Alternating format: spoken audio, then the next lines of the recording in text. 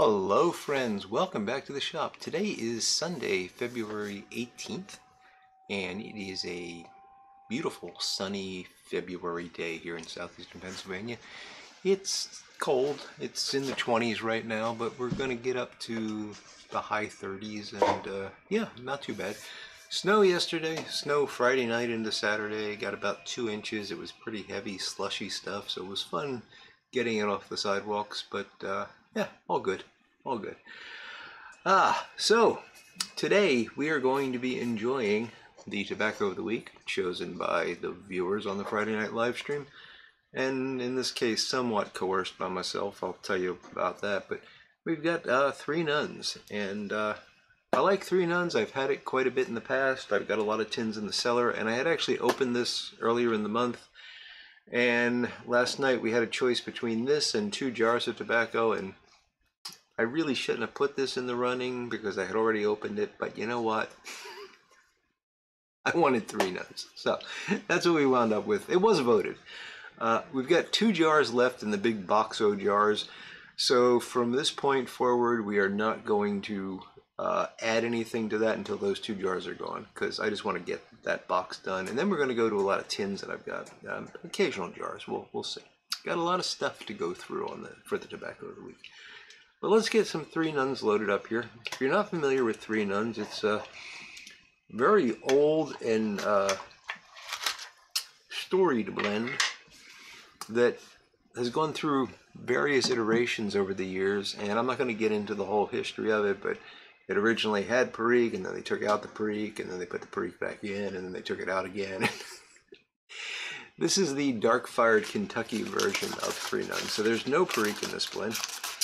It is a uh, coin, you know, cut rope coin type tobacco. It's it's actually very difficult to separate out the coins without breaking them up, but there you get some idea of what we're dealing with.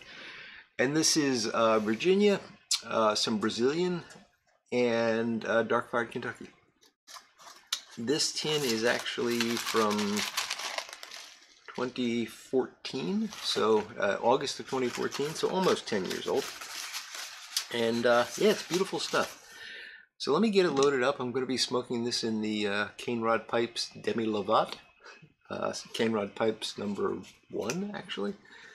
Uh, keeping in mind that there is a number zero, which I call the pipe-like object. Uh, and this stuff is nice. It, it really rubs out very easily. You just have to pinch it between your fingers and it goes right in. It's uh, That's why it's so hard to separate the coins. It is a very loose, uh, almost curly cut, I would say. And it, you know, I'm not a big fan of dark fired in blends like old dark fired. I, I think it's just overdone and kind of,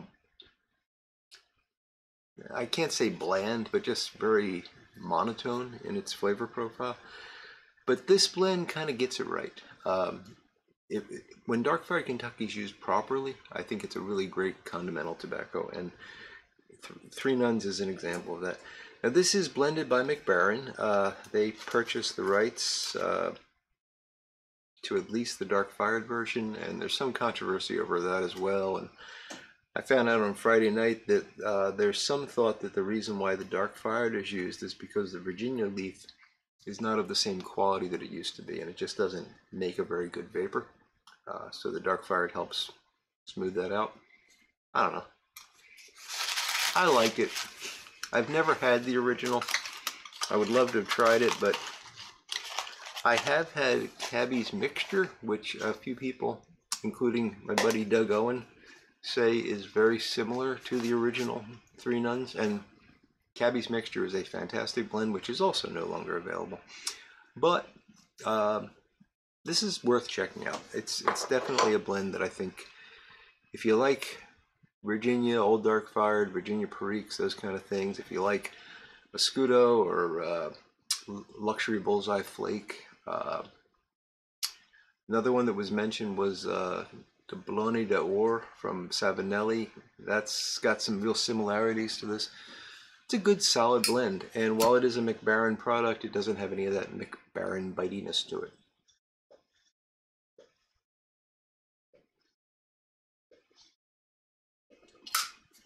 This does have a a rum based topping, at least it's claimed to have. Uh, fresh tins, I've never really noticed it to have much of a topping. Uh, one thing I will say that has changed is a fresh tin of this does seem to be more uh, Virginia prominent in terms of the more like hay, grassy, somewhat tartar Virginias, whereas now after the, the 10 years of age, this is much more mellow. It doesn't have those sharp edges to it.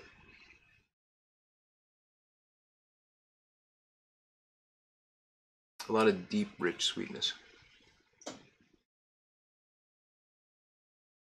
And the dark claret actually adds a spiciness to it that uh, is Perique-like in a sense.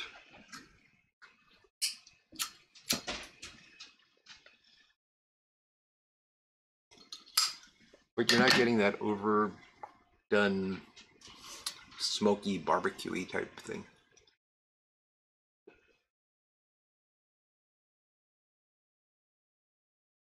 It's a very, very nice blend. Um, I don't know if I could do it as like an all day smoke. This is one that I like to pay attention to. Um, but there's no reason other than that. I mean, it's not overbearing for me. It doesn't uh, doesn't like swamp out my palate or anything. It's just I, I like to pay attention to this blend.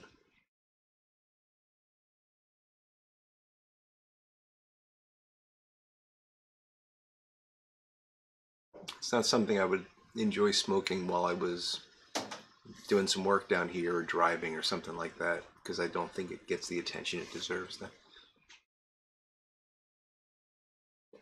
it's interesting. There are some blends like uh, like the Low Country Virginia Burley, which is a fantastic blend. Uh, I don't really think I need to pay attention to that one. I don't really get much out of it if I really concentrate on it but it's good. And then there's blends like Haunted Bookshop where you can go either way with it. It can be just a stuff and puff, enjoy a smoke while you're doing something, or you can sit back and contemplate it and get more out of it. It has those layers of complexity if you want to go down to them. And then there's blends like this where you just you you get the most out of it when you when you spend time. Sorry, Isabel's barking up there. Uh, hopefully she'll stop.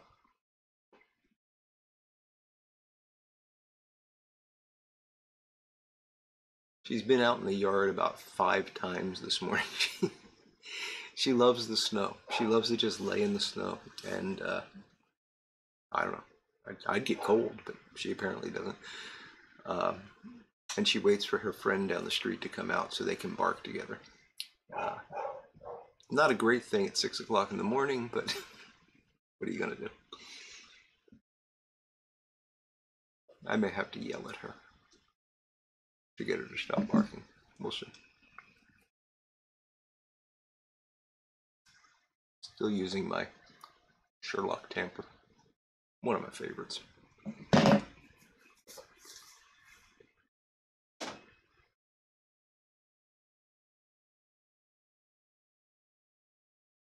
In terms of uh, ease of smoking and you know preparation and all that, it's I mean this is ten years old, so it may be different for a fresh tin and I just don't remember. I don't remember it being particularly difficult to light or anything, but this rubs out really easy.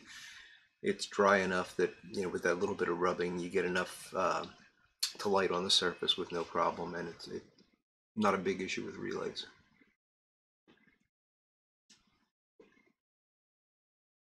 So, yeah, good stuff. Get yourself some three nuns. Very enjoyable. I don't think you can get these tins anymore. They probably now have a big sticker on. Seliger. So, we got a holiday tomorrow. Here in the States, uh, tomorrow is Washington's birthday, which uh, is now popularly called President's Day, although it is Washington's birthday. Uh, we used to, back in the good old days, when I was when I was a young lad, we used to have Washington's birthday and we used to have Lincoln's birthday.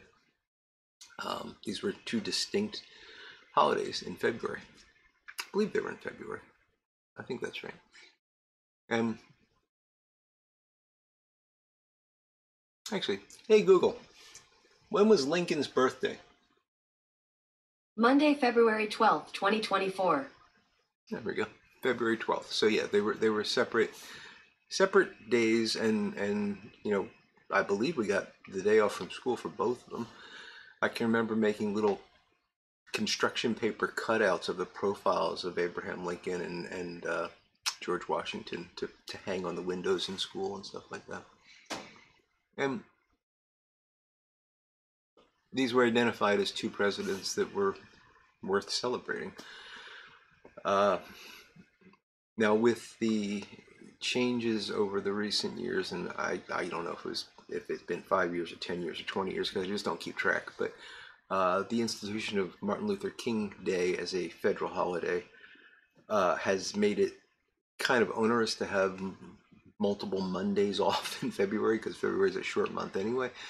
So they decided to nix Lincoln's birthday, keep Washington's birthday, and start to call it President's Day, although it officially is Washington's birthday. The President's Day thing is more of a cultural uh, reference. Maybe some states have changed it, but at the federal level, this is Washington's birthday. And I think that's important because when you say President's Day, people, people, well, nobody pays attention to history anymore and people start to think that it's like, oh, it's for all the presidents, you know, or it's for the current president or whatever. And that is most definitely not the case. This is to celebrate the legacy of George Washington. And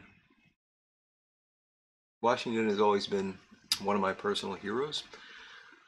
Uh, I grew up in, in Philadelphia, very close to the historic uh, uh, area where, you know, there was the the, the Continental Congress was held, and the and the original residence of the president was there while they were building the uh, the White House.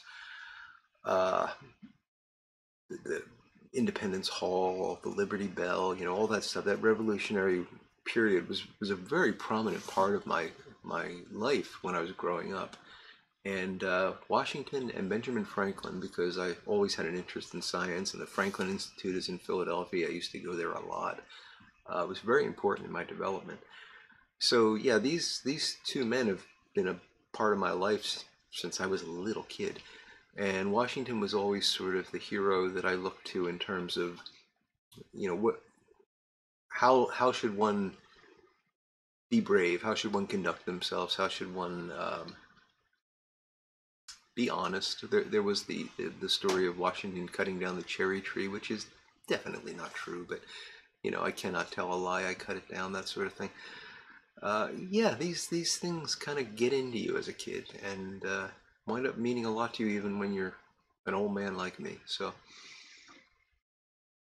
but Washington was an incredibly important man in the development of our country.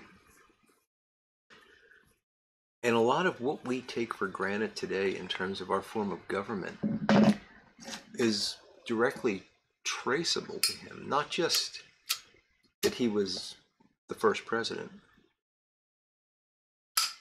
But he was very influential. So,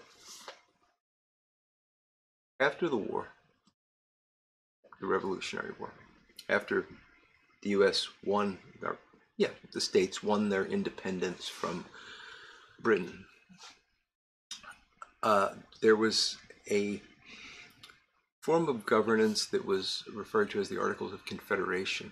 And this was really just a loose confederation of the states. It was um, helpful, but it wasn't really. It, it, was, it was prone to being broken very easily.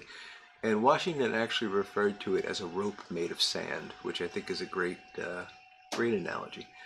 So he saw problems with it. He was vocal about this, but he tried to be reserved. I mean, he was a very important figure in the Revolutionary War uh, general of the, the, the, the Continental Army, and uh, you know he was he was known. He was he was a nationally recognized hero, and he felt that he had a responsibility to not meddle. So he was he was reserved, but nevertheless, when he saw a problem like he thought he saw with the Articles of Confederation, he he would write a letter about it or something, and you know state his case. So it was decided to hold a Continental Congress, uh, Constitutional Congress, and Washington didn't want to go. He, he didn't think it was right for him to be involved in this. He, also questioned whether or not it was even legal to do this. You know, under the, the Articles of Confederation, were they actually being treasonous to, to hold this uh, Constitutional Congress? And uh, of course, he wound up presiding over it and being an incredibly important part of it. And when the office of presidency was established, it was just assumed that he would take it. Uh, there was a an election. Uh, he won the election unanimously, uh, unanimously in terms of the electoral college. Uh, and he he he served two terms. The second term, he also won unanimously. Now, there's a lot of things that he did that we now take for granted that sort of shaped the office of the presidency. And I just want to point out two of them that are, are really surprising to me. The first is how we address the President of the United States. What is the proper form of address? If you were to meet the President tomorrow, how, what should you call him? And the answer is Mr. President. That's the formal uh, address. Uh, just like in England, when you meet the king now, you would say Your Majesty. Here in the US, when you meet the president, you say Mr. President. That wasn't what was initially suggested. There were terms like uh, His Excellency or His Excellency the President, uh, His Majesty the President, things like that. And Washington said, no, you know, that's not what we're, that's not why we fought this war. You know, we fought this war to have a people's government. Um, and he said, you know, I should not be exalted above others. Uh, I have a title, which is president, so you can call me Mr. President. So I, th- I thought that really says a lot about the man and shaped how that office is now uh, observed. He did a lot of other things, like he, he established the idea of having a cabinet. Uh, he was very against parties, political parties. He, he was a strong component of republicanism, meaning the form of government, not the Republican Party. But he did, he thought parties were dangerous. He thought that that was going to lead to a lot of uh, problems, and boy, was he right. Uh,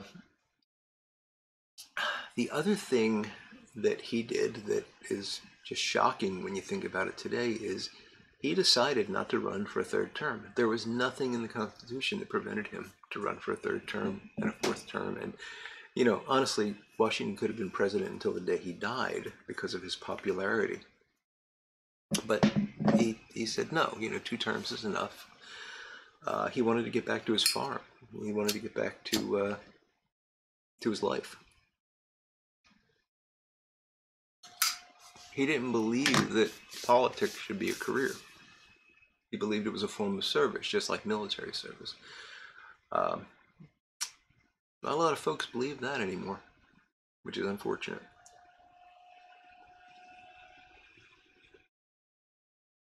So yeah, um, he was a great man, and he did a lot of incredibly insightful things in his in his time that have sort of become institutionalized in our form of government, which uh, I just find that fascinating. The the influence of one person. Now the truth is, somebody else. You know, John Adams was the person that ran against him in in the the first. Well, actually, I don't think there was a. I, he did run against him the first term. Uh, you know, if Adams had won, maybe he would have done the same thing. I don't know, but we owe a lot to George Washington. So, happy birthday, Mr. President. to quote Marilyn Monroe, which I don't think I ever would have done. Ah, so I, I'm sorry, I'm struggling a bit here because I'm talking too much and not puffing enough.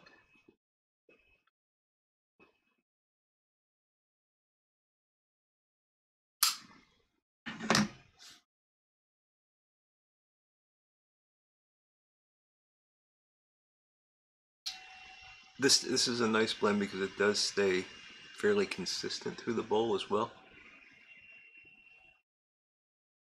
but never gets boring.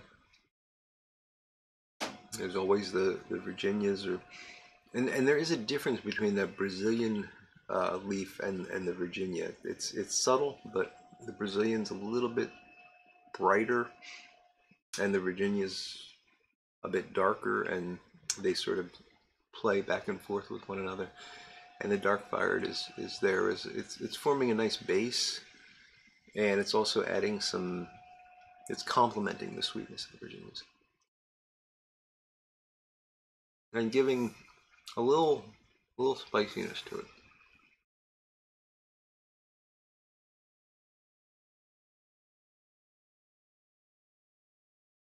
It's funny, I, I find that in some blends I have trouble distinguishing between dark fired Kentucky and Perique. Even though they're very distinctive, if, if you were to smoke them individually, which I have done, um, you can tell the difference between them with no problem.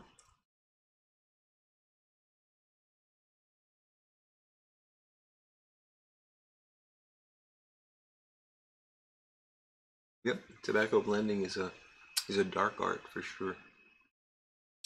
Speaking of that, I made another batch of my homemade bookshop, which I keep in a Fusiliers ration tin. Played a little bit with the ratio of the long cut Virginia to the red Virginia, and dropped the burley a bit. And I'm not happy with it. I will smoke it. Uh, it's good, but it, it didn't turn out the way I had hoped it would. And that's what's kind of really interesting to me about playing with this. You know, you, you think you understand it. You say, okay, I, I can pull out all the different components. I want a little bit less of that and a little bit more of that. Mm-mm.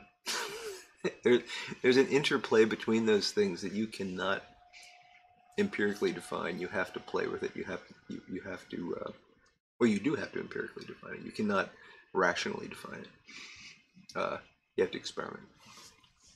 It's fun. It's fun. Get yourself some blending tobaccos and have some fun. Right after you get yourself some three nuns. I'm, I'm giving a lot of, uh, I'm providing a shopping list. And why not? International Pipe Smoking Day is this week, so you got all the sales going on.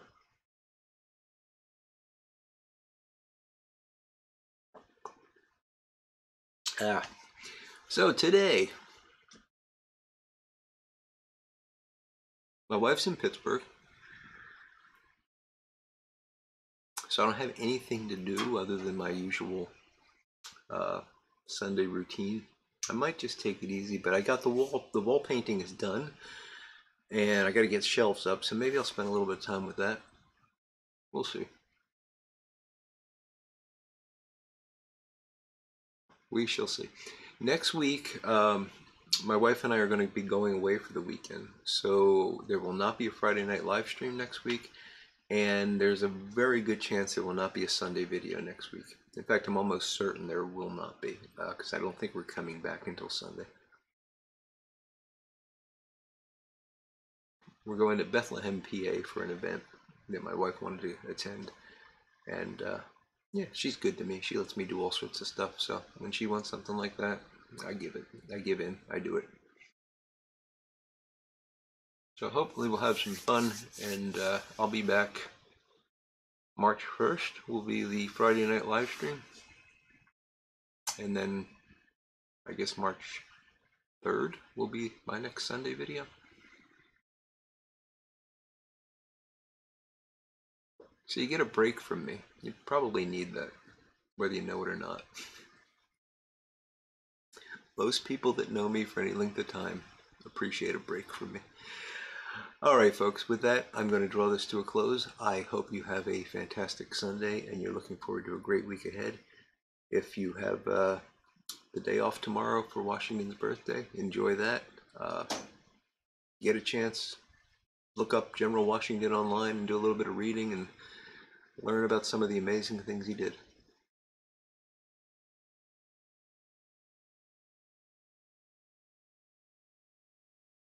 So enjoy yourself and until we speak again, I will look forward to talking to you all again very soon. Goodbye now.